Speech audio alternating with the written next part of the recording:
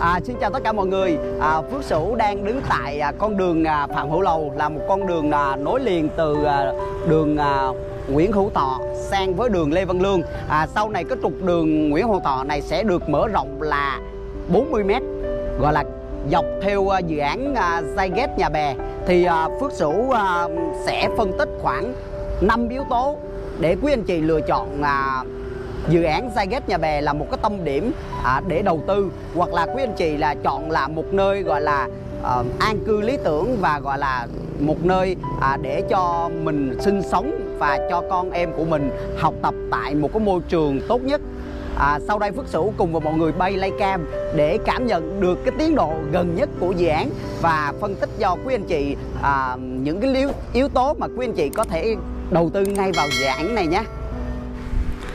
Và bây giờ Phước Sửu sẽ bay Laycam để cập nhật tiến độ của phân khu Zai River Country One thuộc dự án Zai Nhà Bè. Có rất là nhiều căn nhà sắp tới, trong khoảng tuần đến 2 tuần tới nữa là bắt đầu là được nhận nhà, là những cư dân đầu tiên của dự án Zai Nhà Bè nhận nhà, phải không quên gì? Và sau đây là Phước Sửu chi tiết sơ qua về cái phân khu Zai River Country One thuộc dự án Gate Metro City Nhà Bè, có quy mô tổng của dự án là 349 hecta, thuộc chủ đầu tư GS Hàn Quốc là một dự án có mức giá tăng là hiện tại là tốt nhất của thị trường, đối với thị trường hiện tại, phải không? Và khi mở bán vào là tháng 1 2020 và đến hiện nay thì mức trên lệch tối thiểu từ 8 đến 20 tỷ cho một căn nhà phố, shop house, biệt thự và song lập.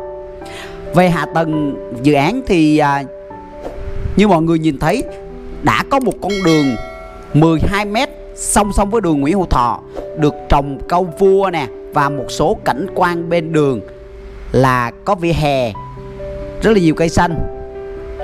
Con đường này sau này dự kiến sẽ là một con đường đổ xe lưu thông xe cộ mua sắm sầm uất của những cái căn shop house mặt tiền Nguyễn Hữu Thọ.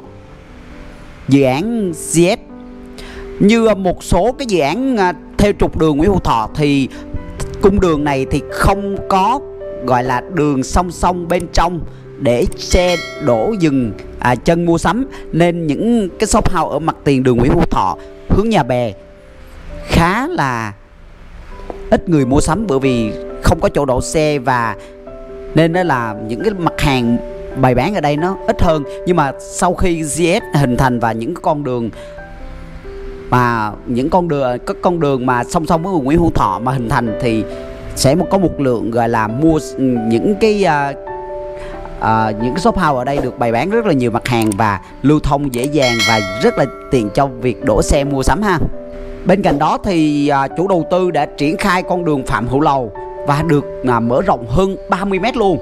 Con đường này được thi công một bên rồi và cây cầu là cống dinh thì đã hình thành đến khoảng 90% rồi. Đầu năm sau là mình có thể là đi cây cầu mới và không cần đi cây cầu cũ nữa. Riêng đường à, Phạm Hữu Lầu thì được à, mở rộng một bên rồi. Còn một bên là chuẩn bị tiến hành gọi là mở rộng luôn thì bây giờ là mình sẽ đi bằng cái lên đường mới nên con đường rất là đẹp cao ráo hơn con đường cũ. À, sau này thì sẽ có một con đường Phạm Hữu Lầu. Di chuyển từ Lê Văn Lương qua tới đường Quỳnh Thân Phát là một con đường Phạm Hữu Lầu rất là lớn nha quý anh chị. Nên gọi là hạn chế tình trạng kẹt xe. Về hành lang lưới điện thì gần như là tất cả các đường điện ở đây là đã là âm xuống dọc theo trục đường Nguyễn Hữu Thọ Phạm Hữu Lầu và gọi là xung quanh ngoài dự án hết rồi. À, gần đây nhất thì một số cái à, trạm điện đã tháo dỡ những đường dây điện rồi. Bởi vì hiện tại đường dây điện đó bây giờ là không còn điện nữa mà điện đã được âm dưới trục âm đường dưới à, dưới đất rồi ha. Nên sau này chủ đầu tư sẽ à, trả lại mặt bằng toàn bộ để cho cư dân nhận nhà và vào ở và không có đường điện trên mái nhà nữa về hai cái phân khu đó là phân khu Zai Edu thì à, cái phân khu à, mới này á dự kiến là một cái phân khu gọi là giáo dục. Ở đây thì có rất là nhiều trường học và một cái à, điểm nổi bật ở đây là có một cái trường gọi là đại học Chadwick.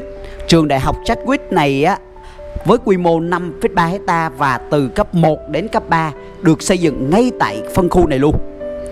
Tại các phân khu này thì có một cái ngôi trường rất là lớn và nổi tiếng của Mỹ luôn quý anh chị. Thì quý anh chị có thể đưa con học và trải nghiệm tại một cái ngôi trường hoàn toàn là yếu tố nước ngoài.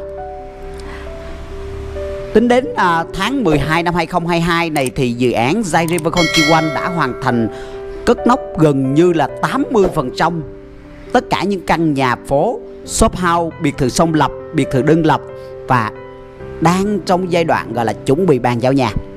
Thì à, khoảng 2 tuần nữa sau Tết Tây thì sẽ có một số căn được bàn giao nhà. Và gọi là quý cư dân ở đây chỉ cần à, là hoàn thiện nội thất là vào ở luôn rồi. Nên à, khoảng à, ở hết quý 1 năm sau thì có rất là nhiều cư nhân sẽ dọn về ở mới tại khu à, Zeget này.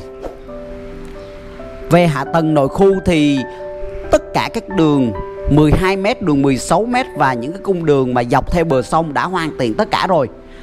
Tất cả các con đường ở đây thì như quý anh chị thấy ờ, theo playcam của bức sửu bay thì quý anh chị thấy là đã lót gạch và làm vỉa hè trồng rất là nhiều cây xanh. Gọi là ở đây là phủ bóng cây xanh. Ở đây có rất là nhiều cây xanh bốn mùa có bốn loài hoa khác nhau. Nên ở đây sẽ có một cái ờ, một cái không khí rất là tốt nhiều oxy. À, và có cảnh quan thiên nhiên sông nước. Làm rất là hài hòa làm cho quý cư dân ở đây cảm giác thoải mái. Đúng là một cái khu dân cư đẳng cấp ha. Hệ thống gạch trang trí ở đây thì rất là tiền như chứ quý anh chị. Quý anh chị nhìn vào cái uh, shop house mặt tiền đường hiệu tọ thì biết được chủ đầu tư ở đây là trang trí và thi công một cách tỉ mỉ. Ở đây tất cả những cái gọi là đá bóng kiến được dán trên cái mặt tiền của cái shop house. Nên đó là tạo một cái hình ảnh cực kỳ bắt mắt một cái khu đô thị là chuẩn khu đô thị hạng sang à, uh, GS Nhà Bè. Hệ thống thoát nước nè được đầu tư bài bản. Các tất cả các cấp nắp cống thoát nước được sản xuất công phu và có những cái logo của hình chủ đầu tư. Về những cái club house A30, A31, 32 thì gần như hoàn thiện đến 90% rồi. Bây giờ là cư dân dọn vào là có thể là có thể sử dụng được luôn. Những cái hồ bơi ở đây rất là rộng và có sải bơi rất là dài. À, Những cái sân tennis nè, phòng tập gym nè Rồi những cái vườn barbecue, sân vườn, hầm rượu dưới đất Thì cũng sẽ là hoàn thiện tất cả vào trong đầu năm tới luôn. Một số căn là ở đây là như Phước sửu nói khi nãy là khoảng 80% là đã được cất nóc rồi. Còn một số căn là hiện tại sau khi đường dây điện dời đi Thì sẽ hoàn thành và xây dựng tiếp. Bởi vì hiện tại những cái căn đó là nằm dưới đường dây điện Và ở đây hiện tại là đã được gọi là làm cái móng cọc rồi. Những căn biệt thự đối diện bờ sông thì như quý anh chị theo bay cam thì hoàn thiện hết là trăm phần trăm rồi.